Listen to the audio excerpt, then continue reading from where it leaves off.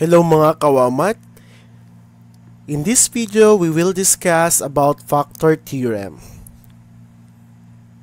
Factor theorem given a polynomial p of x, the expression x minus c is a factor of polynomial if and only the value of p of c will yield to 0 that is p of c is equal to 0.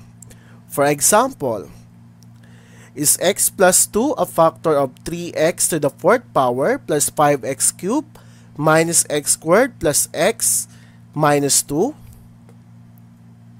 Okay, first kailangan natin kunin yung value indicator natin. Saan natin makukuha yan? Sa divisor. So, sa x plus 2. So, c is equal to negative 2.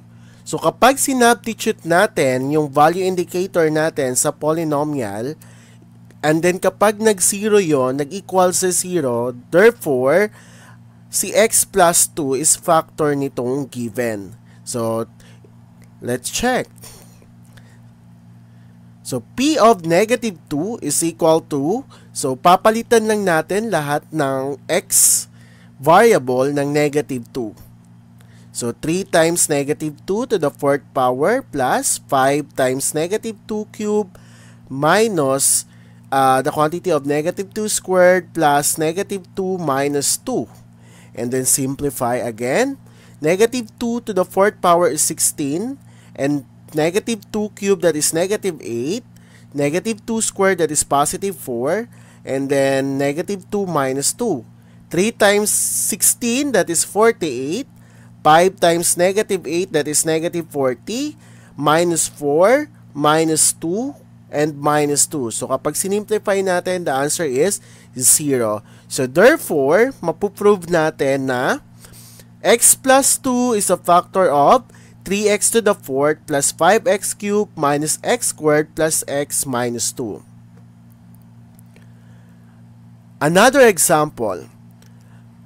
Determine whether x minus 3 is a factor of p of c where p of c is equal to x to the fourth power minus 3x cubed minus x plus 3.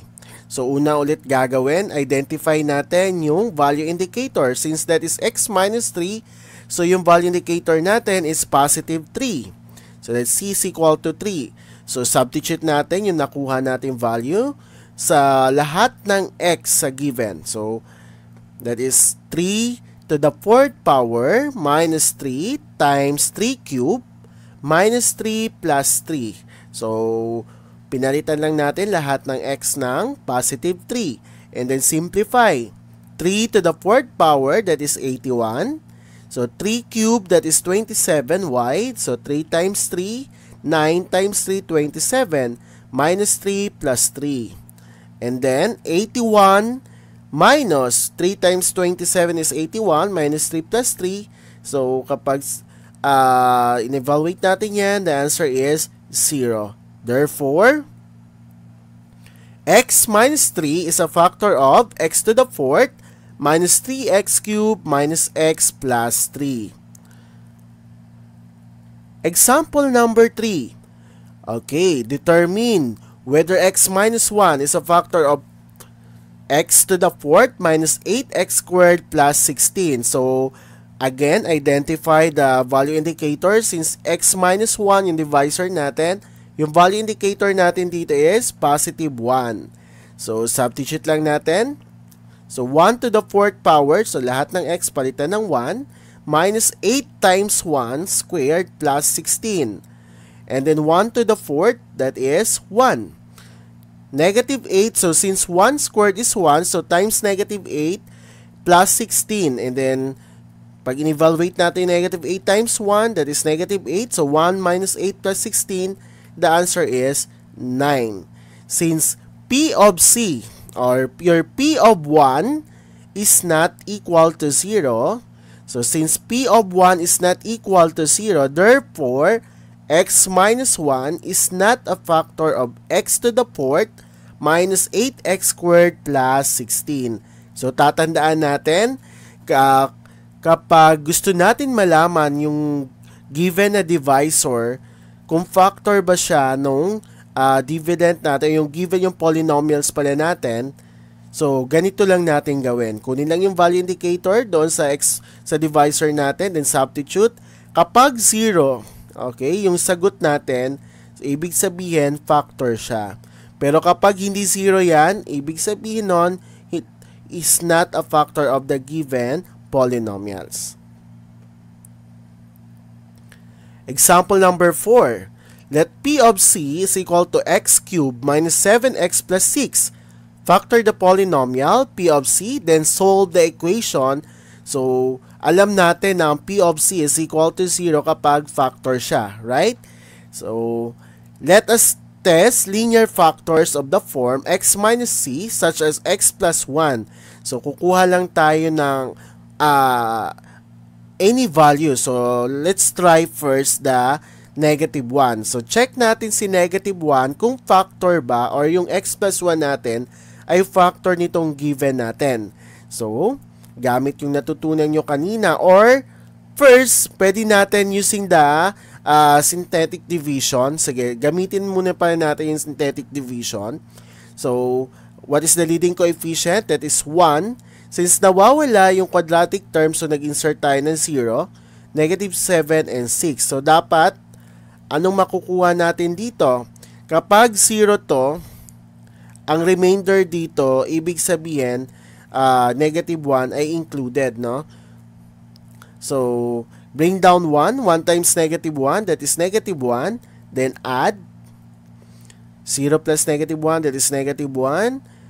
And then negative 1 times negative 1, that is positive 7. Negative 7 times 1, that is, ah, ano, negative 7 plus 1, that is negative 6. And then negative 6 times negative 1, that is positive 6. 6 plus 6, that is positive 12. So, since ang remainder natin is 0, ay 12. So, therefore, si negative 1 is not part of the roots or nung solution nitong given natin. So, anong gagawin natin? Try tayo ng isa pa. Kung, try natin yung positive 1. Okay, since p of negative 1 is not 0, then x plus 1 is not a factor of P of C. So, hindi siya factor. So, try natin yung positive 1. So, try natin si positive 1. So, ganun lang yung proseso. So, kapag nakuha natin and sinubstitute na natin, so the remainder is 0. So, ibig sabihin kapag ang remainder natin ay 0, and P of 1 is equal to 0, then our x minus 1 is a factor. And then, this one, so the remaining, That is x squared plus x minus 6 is the another factor.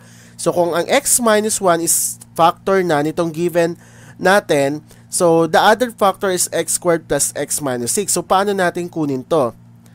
Okay, pwede tayo gumamit ng factoring. So kung naalala nyo sa grade 8 lessons nyo, uh, more on factoring doon. So kung nalilito kung paano kunin yung factor nito, pwede kayo pumunta, uh, i-review nyo yung first topic or first two topics ng grade 8 lessons.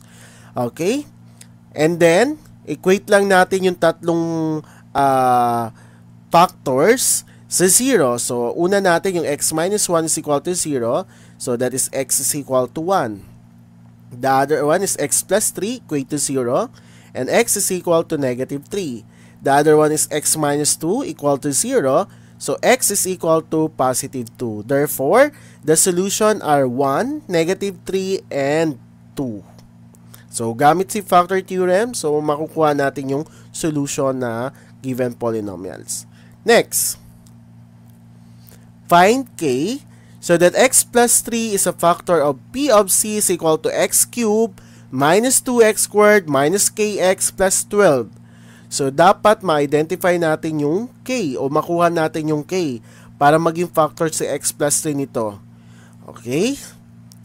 So, by factor theorem, if x plus 3 is a factor of p of c, then p of negative 3 is equal to 0. So, malalaman natin na factor yung x plus 3 kapag uh, sinubstitute natin si negative 3, nag-equal sa 0.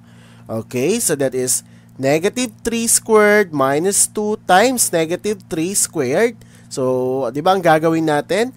Isa-substitute natin yung uh, ano natin, yung value indicator natin. Since x plus 3 yan, so yung value indicator natin is negative 3.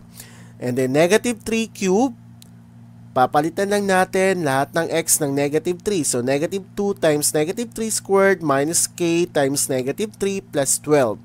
And after that, simplify natin. So pwede na natin first kunin natin yung k kasi yun ang hinahanap natin, di ba? So negative 3 cube that is negative 27. Negative 3 squared that is 9. Then negative k times negative 3 that is positive 3k plus 12. And then combine similar terms. So negative 27 minus 18 plus 12. That is negative 33. And 3k minus 33 equal to 0. And then add both side by 33. So 3k is equal to 33. Divide both side by 3. k is equal to 11.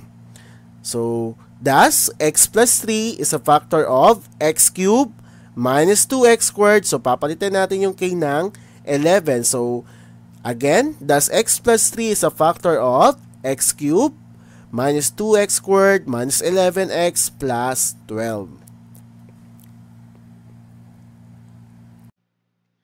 Thank you for watching this video. I hope you learned something.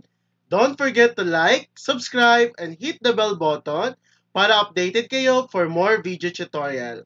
This is your guide in learning your math lesson, your Wow Math channel.